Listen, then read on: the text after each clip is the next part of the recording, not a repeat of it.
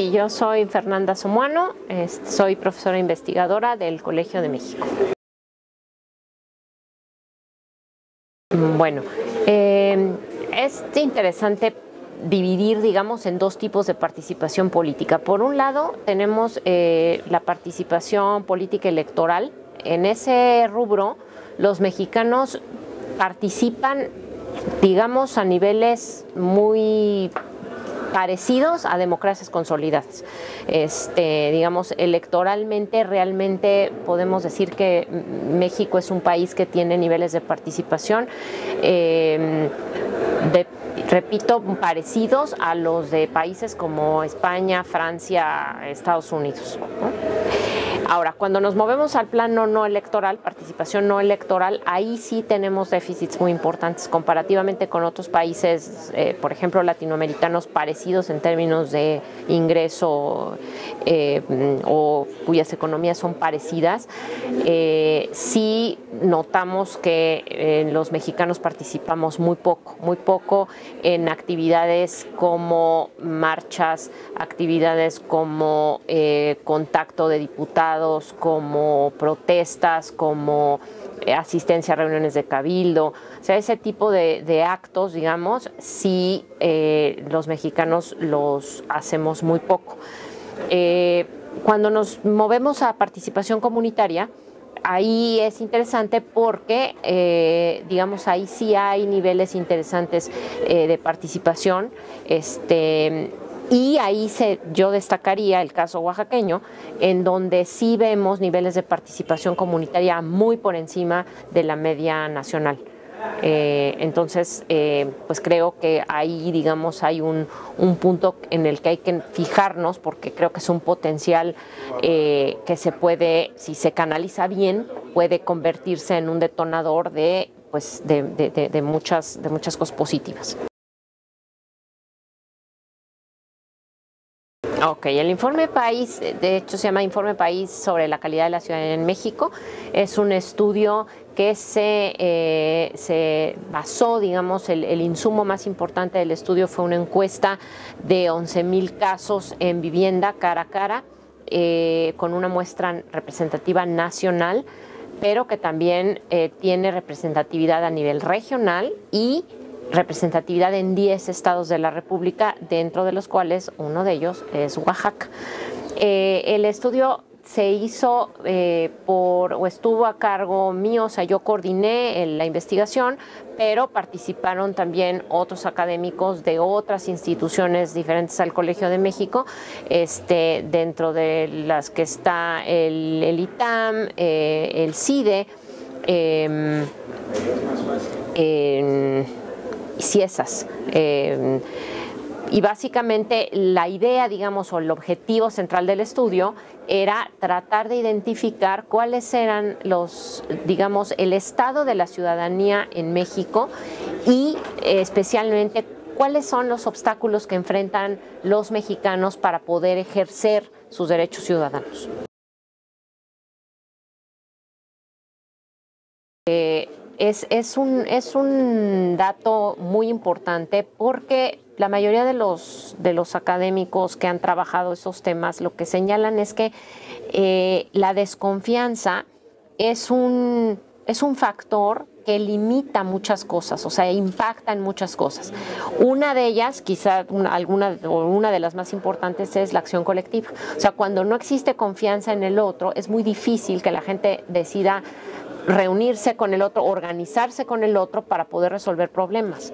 Eh, entonces, el hecho de que haya, digamos, niveles de desconfianza muy altos en una sociedad, pues es muy costoso en muchos ámbitos. Es muy costoso, por ejemplo, para lograr la organización colectiva, es muy costoso para, eh, por ejemplo, eh, pues tratar de buscar soluciones en conjunto, porque pues de nuevo no hay Em, no hay confianza en el otro. Eh, es, es, complicado porque la legitimidad, digamos, del gobierno se ve minada porque de nuevo no hay confianza en aquellos que nos gobiernan, entonces eso limita, digamos, de la capacidad de maniobra de un gobierno. En fin, digamos, sí es un elemento muy importante que si no existe, pues dificulta la labor gubernamental y la capacidad de los, de los ciudadanos para poder buscar soluciones en conjunto. Me gustaría señalar que es interesante que, cuando uno revisa los datos para Oaxaca relacionados a participación eh, comunitaria, eh, los datos señalan claramente que, Oaxaca está por arriba de la media nacional y eso, repito, creo que es algo muy importante. Ahora, cuando nos movemos a la participación de las mujeres, eh, pasa algo que pasa también a nivel nacional, es decir, las mujeres participan más que los hombres cuando se trata de participación comunitaria y votan más que los hombres, pero cuando se mueve una participación no electoral, eh, los porcentaje, el porcentaje de mujeres es, es mucho menor.